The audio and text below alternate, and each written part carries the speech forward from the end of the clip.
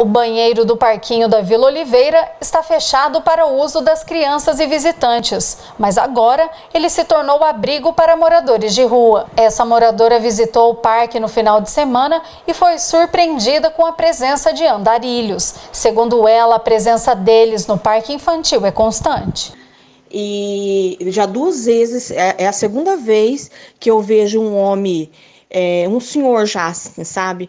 É, saindo do banheiro, lá de dentro do parquinho, e ele, ele sai de dentro do banheiro, sai por dentro do parquinho e sai lá para fora. Aí o, esse final de semana, a segunda vez já que eu vi isso acontecendo.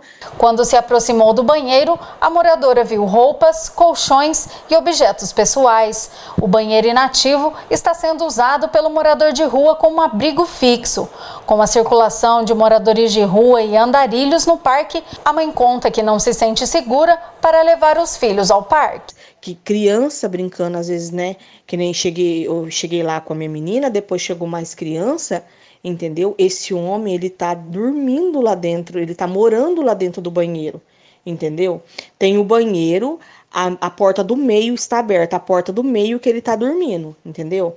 E daí depois, bem depois da tardezinha, chegou um haitiano com umas sacolas assim, sabe? Parecia que tava é, é, é, tipo assim pra rua também.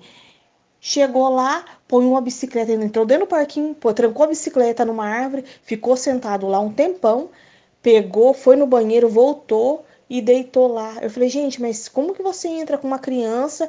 Eu falei, é por isso que não, não, não tem muito movimento aqui mais no parquinho, porque o parquinho está abandonado. A moradora pede que os órgãos responsáveis visitem o local e prestem assistência ao morador de rua. Sobre os banheiros, a moradora dá sugestão que, como estão inativos, eles deveriam ser demolidos, evitando assim que se tornassem abrigo.